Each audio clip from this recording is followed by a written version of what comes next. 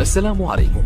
لا تنسوا الاعجاب بالفيديو والاشتراك في القناة. تشجيعا لنا لنستمر بنشر المزيد إن شاء الله. السلام عليكم ورحمة الله وبركاته. حياكم الله متابعين قناة المشاريع الصغيرة في سوريا. أه، حياكم الله أخواني. اتمنى منكم اشتراك بالقناة. أخواني لتعم الفائدة إن شاء الله للكل. إنا ولكم إن شاء الله. أه، أخواني اليوم أه، فتت على المتجر لقيت إيش؟ بعض بعض الخمول في الطيور يعني. تلقاه حركته ثقيلة. فإحنا تمام نوقع بمشاكل مرضية ونخسر القطيع كامل. فإحنا نحط له وقائي علاج وقائي. حتى المريض المريض منه يعني يتعافى. فإخواني يسعى الخلطة هذه عبارة عن الثوم.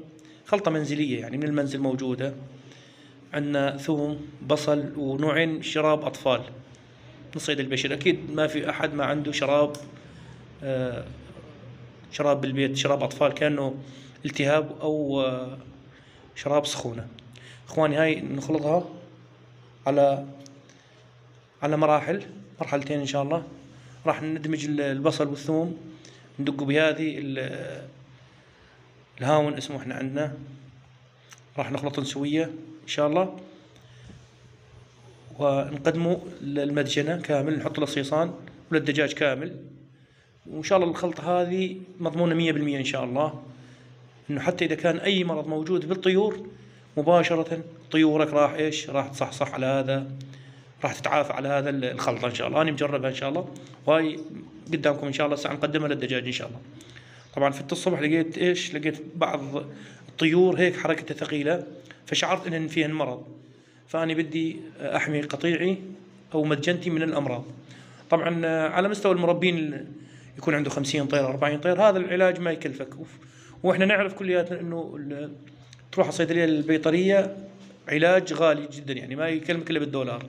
فإحنا يا شباب هاي الخلطة لازم أنت كل بين فترة حتى إذا دجاجك ما بي اي شيء تمام؟ تقدمه لدجاجك أو للدجاج اللي عندك أو المجن اللي عندك إيه، بحيث إنه ما ما يصيبهن مرض أسأل الله إنه يرزق يرزق الجميع إن شاء الله. الله يحفظكم إخواني.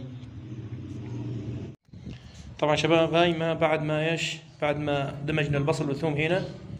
تمام شباب؟ نضيف شراب التهاب شراب سخونة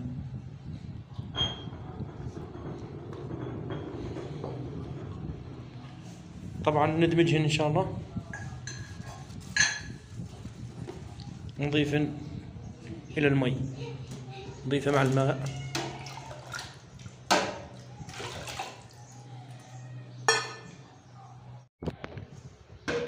طبعا هسه نعبي المشربيات إن شاء الله. مشربيات الدجاج.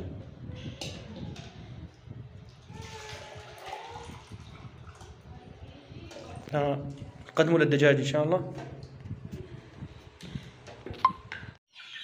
حياكم الله متابعينا. هاي قدمنا الخلطة آه، العلاج لدجاجنا.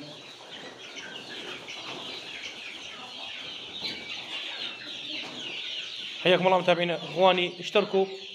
محتاجين دعمكم ووقفتكم معنا الله يبارك فيكم. اشتركوا بالقناة وفعلوا الجرس. جزاكم الله خير.